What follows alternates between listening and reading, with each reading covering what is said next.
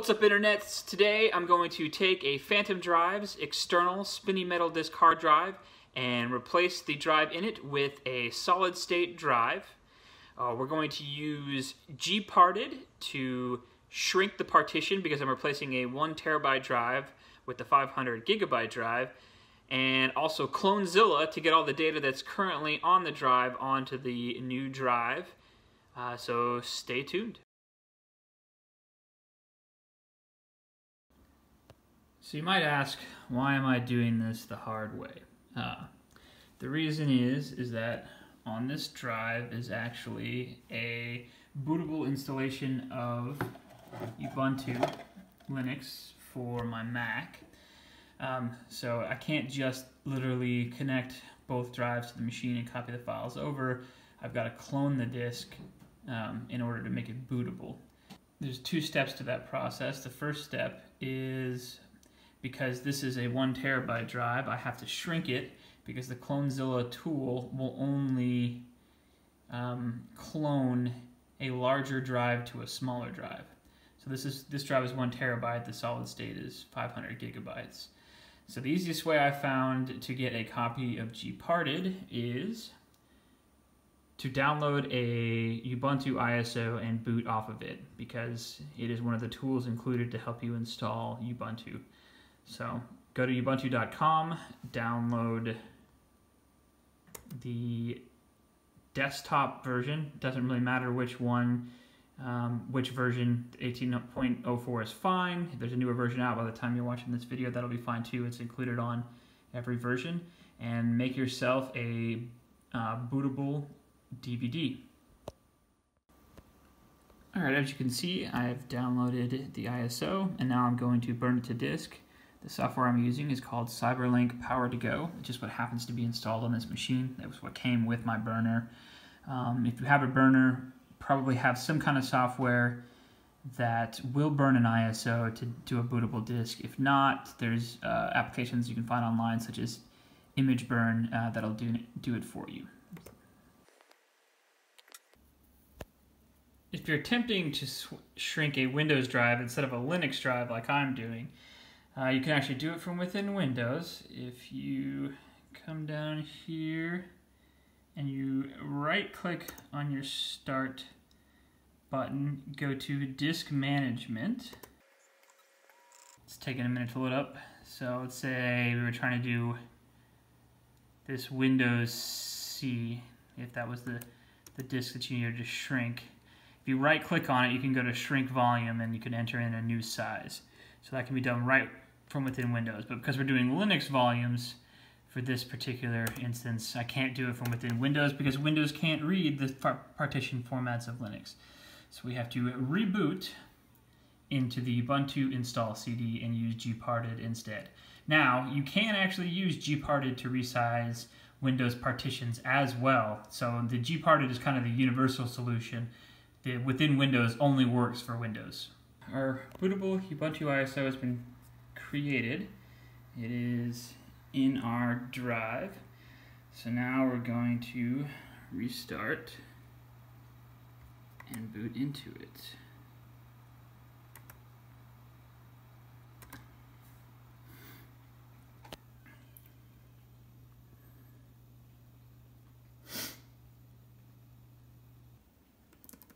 Alright, depending on your machine, you may have to hit F2 or delete in order to get into a menu to choose to boot off some other device besides the primary hard drive or uh, it may just boot directly off the CD-ROM. On this one I actually have to go into BIOS and tell it to uh, try the, uh, the CD burner first.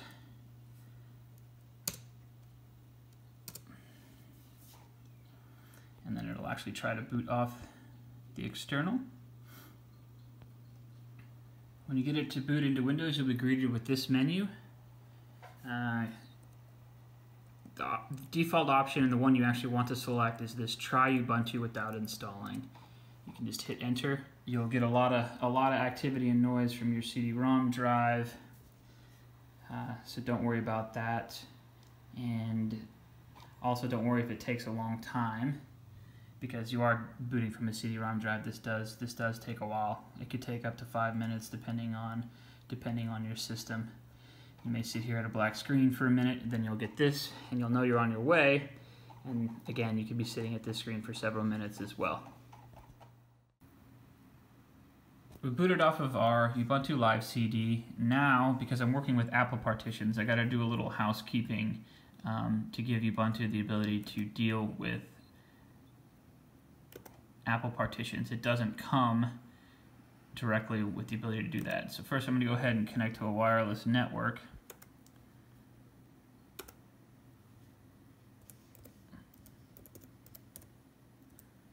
So I have access to the internet.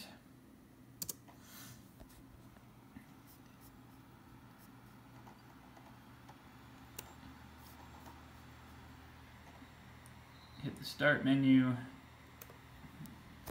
Now you can skip this part if you're not working with Apple partitions and go directly to gparted. For software and updates.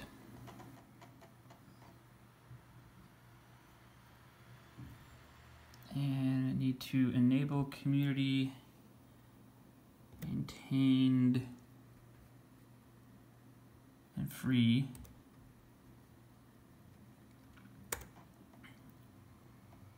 Go ahead and reload. This pulls down a, a list of additional packages that you can install to Ubuntu. And even though you're working off of a live CD, you can still install packages. All right.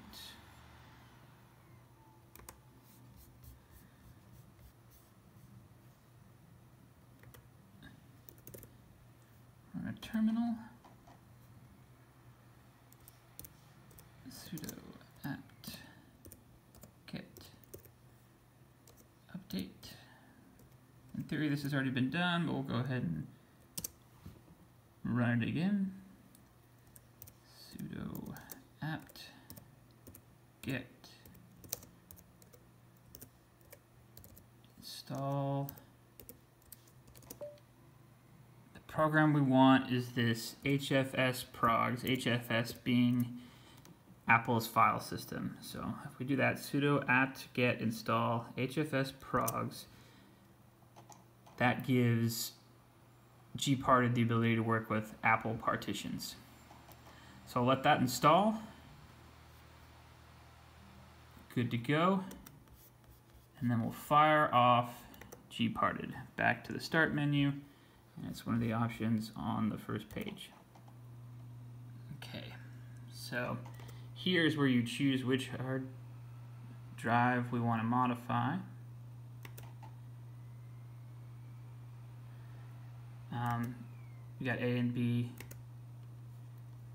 This happens to be the one that's, that's of interest to me. This is my um, Linux installation. As I said, it was for my Mac, so it's, it's obviously this is the right thing. Uh, you can see here that a Linux installation has many partitions. I have to get the sum total of these below the 500 gigabytes that is uh, available on the solid state drive I'm going to replace this with. All this stuff I'm not going to change, but this one you can see it's an 820 gigabyte um, folder and there's 600 gigabytes for you so I can shrink this way way down and that is what I'm going to do. First we should we need to unmount it. This is kind of a Linux thing. You can't actually resize a partition that's currently mounted. So now that it's unmounted, I can come in here and select this, select resize and move.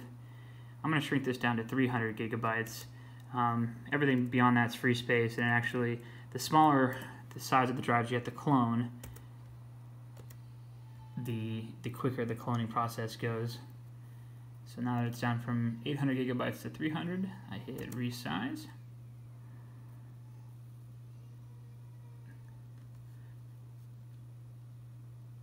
select apply all operations.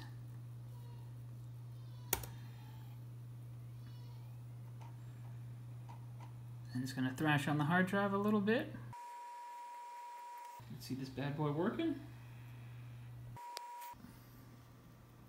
Our source disk is prepped, and now it's time to prep our destination disk.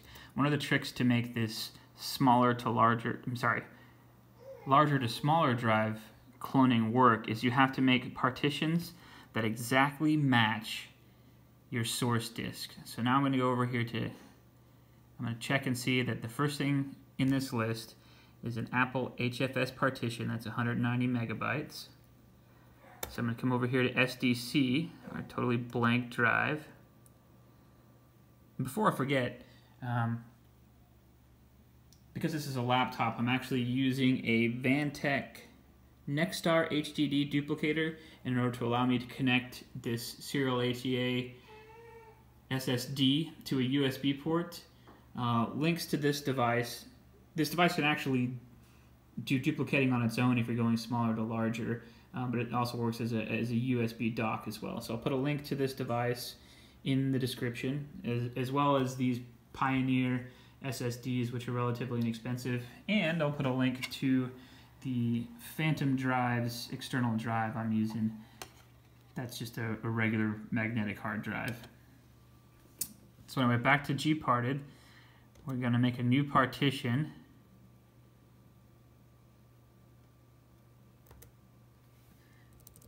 I'm going to make it 190 megabytes, just like the just like the one on our source drive. And we are going to make it HFS plus, just like the one on our source drive. Going to go ahead and hit apply operations.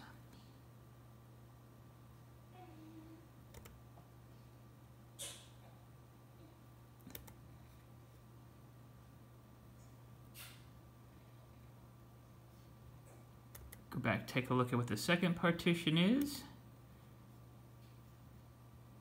And it is ext4, and it is 95.37 gigs. So basically I'm just going to go through and duplicate all of the partitions on the source drive to the destination drive in the exact same order and at the exact same size. Okay, got all of the destination partitions set up. You can see they all match in size to STP 190 megs, 95 gigs, 15 gigs, 195 gigs. So I'm going to go ahead and select apply all operations.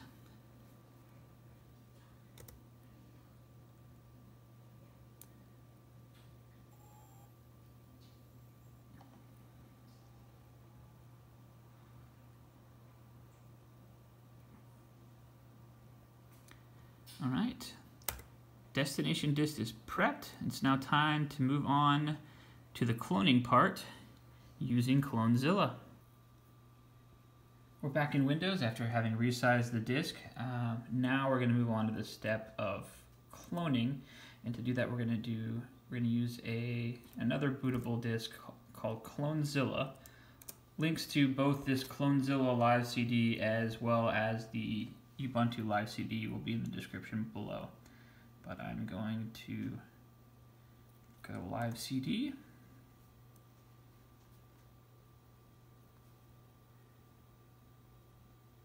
Download an ISO file.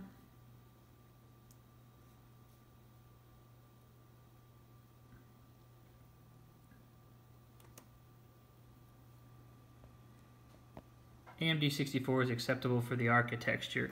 Uh, that doesn't just apply to AMD CPUs. You can use this if you have an Intel. Um, by default, this came up set as a zip file. We want to change to an ISO so we can burn it to a, a CD or DVD. So make sure you make that switch and then hit download. Okay, when I will burn this to disk and when we come back, I will be booting off of this live CD. Now getting CloneZilla booted up. Um, here it's asking me for my keyboard layout. If you have a strange keyboard, make sure to select it. Default is just a standard English keyboard. We're going to choose that. And do we want to change the keyboard layout? No, we want to keep. It's going to go through, through some more stuff. And then now we're going to get to start Clonezilla. This transfer is from device to device. We want to select the section, second option here. And if you were cloning to two drives of the same size or from a smaller to a larger drive, you could probably get away with beginner. Uh, but because we're going from a larger to a smaller, we need to choose expert and select um, some particular options. Uh, so we are doing disk to disk. This next option is a bit tricky, uh, especially on this machine because I have a one terabyte internal drive on this computer and then the one terabyte external drive I'm trying to clone. So make sure you know which is which.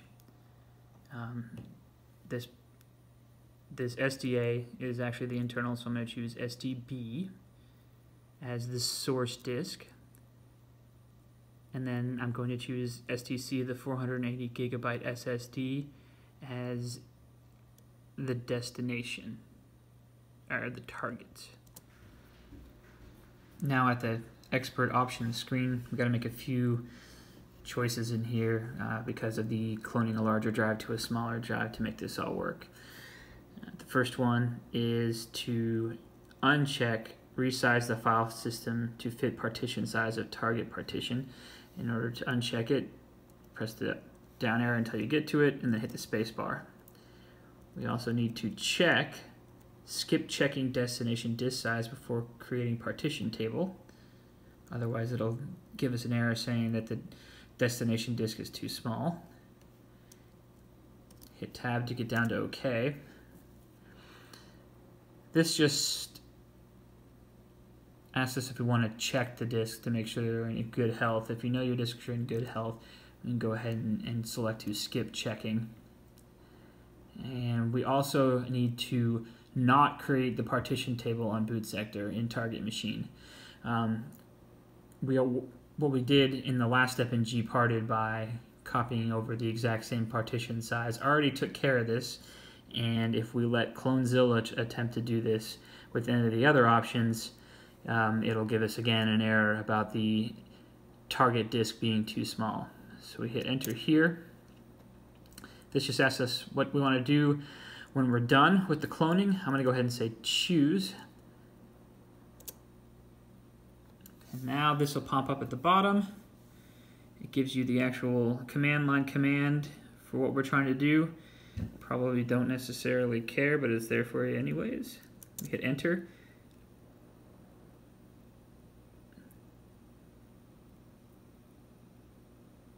It's going to ask us if we're sure that this is what we want to do. Yes, we're sure.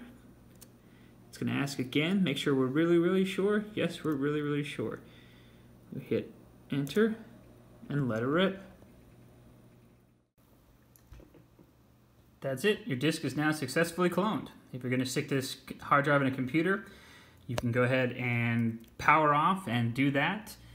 The next step for this tutorial is I'm going to tear apart the external hard drive and put in our SSD. set up on our workbench. I'm using a iFixit toolkit, which is pretty handy, a lot of drivers in it. I have not actually disassembled this device before. Uh, no pre-preparedness. The only thing I've done is I've removed the warranty void if removed sticker, which is not actually enforceable in the United States. So let's uh, let's see what we can do about getting this apart to replace the drive.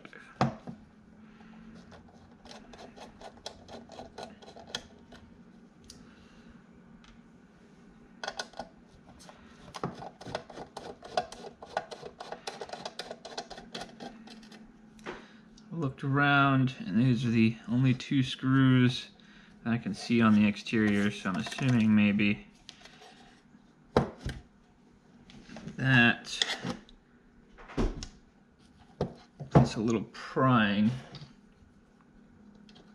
will get us where we want to go.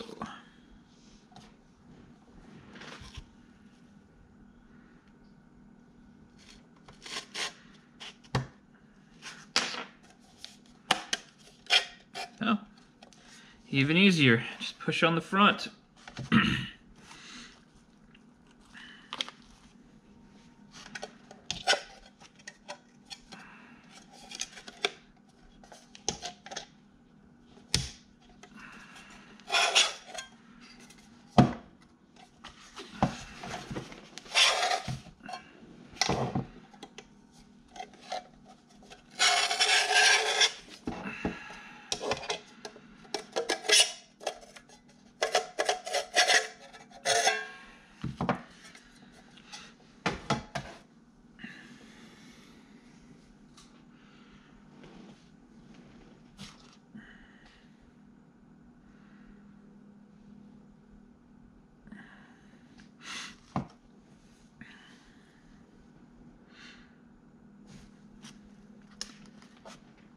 Looks like the drive could be side mounted, but it's not. Looks like it's bottom mounted. So let's try removing these bad boys.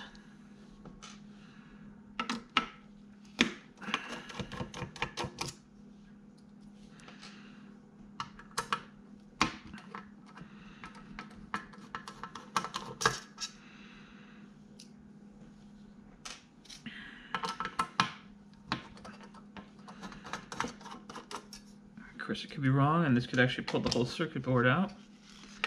It does appear to be pulling the hard drive out. Okay. Push forward off the serial ATA connection. And voila. It's out. It's a Toshiba hard drive.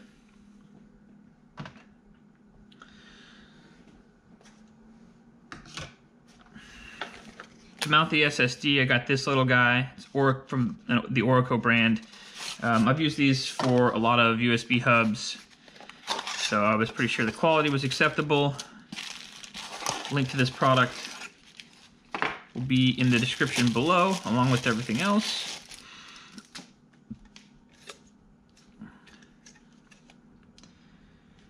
And so this one slides in place of the old drive.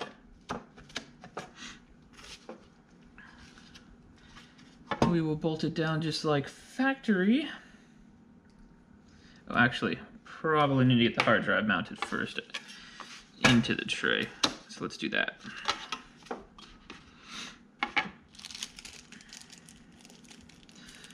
don't think the screws are going to be accessible when we're done.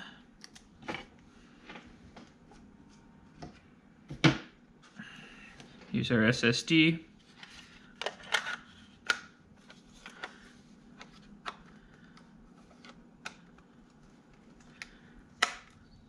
clipped in place.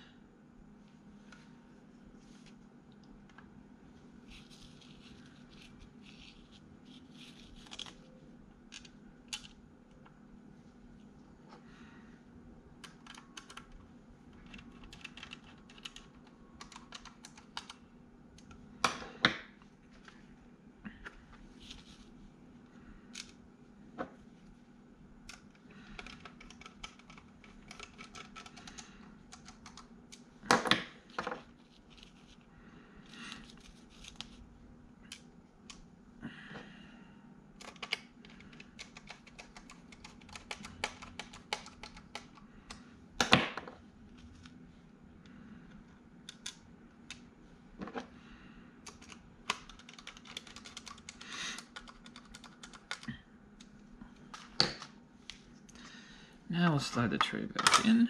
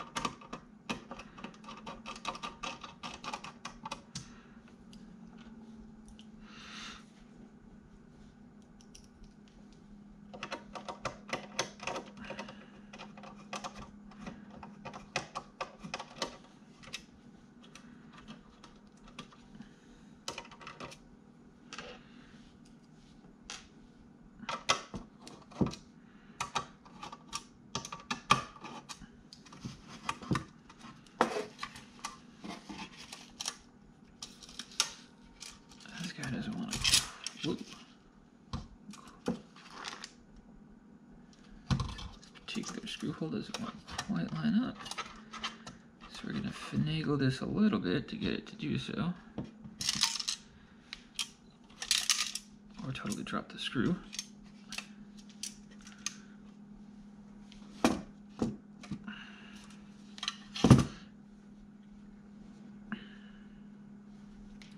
Well, that's nice about this iFixit screwdriver is that it's magnetized, means you can just kind of stick the screw on the end and it's going to stay for the most part.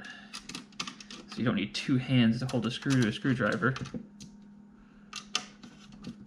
Kind of nice. Okay.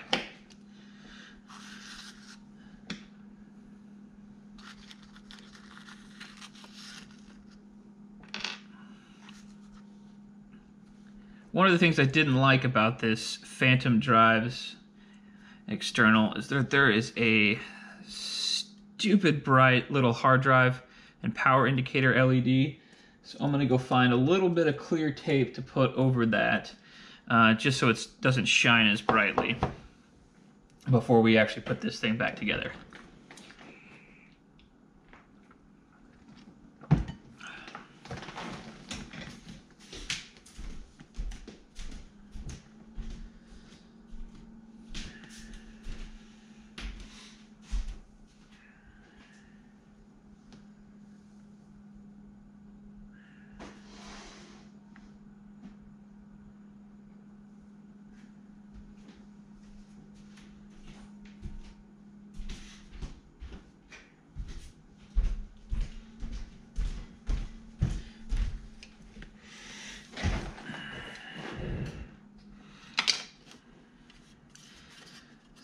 to get at that LED.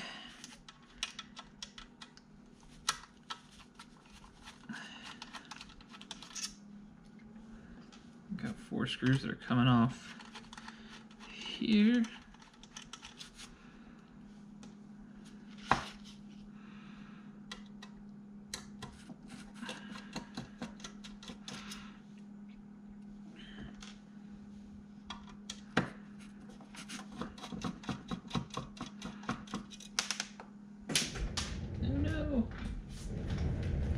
Runaway screw.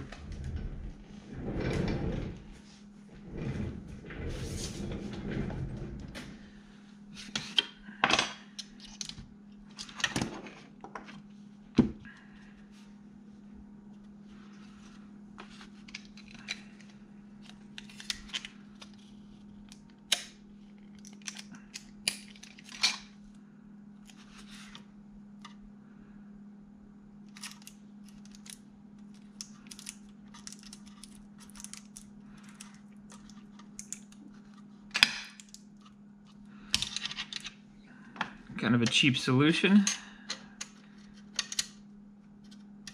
Still get to see the light, but it just won't have the brightness to pierce the night when I'm sitting at that machine anymore.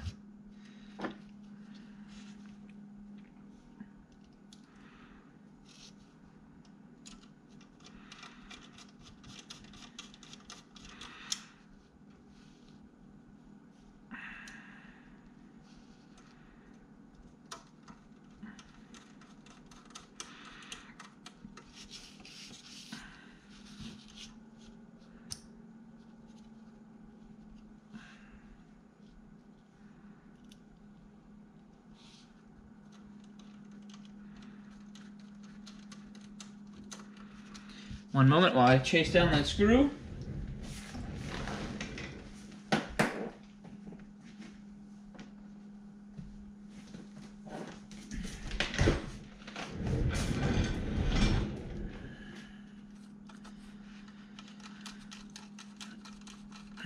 You don't need to crank down any of these screws,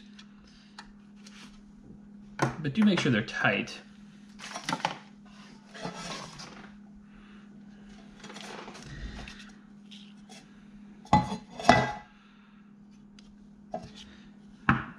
Two screw holes to hold it together are here and here. Push this back in the way it came out.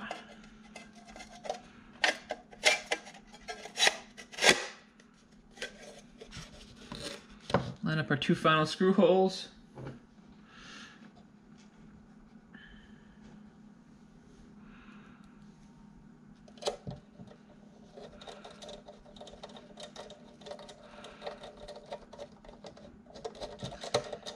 Does not appear to be the right screw.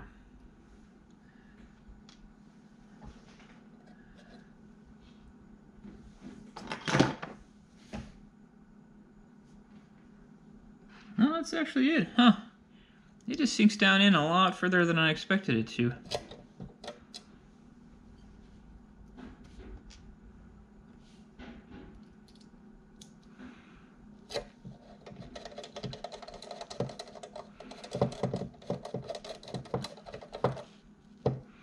Okay, that is it.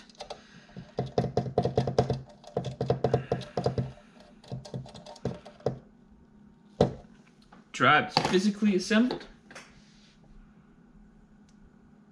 Thanks for watching.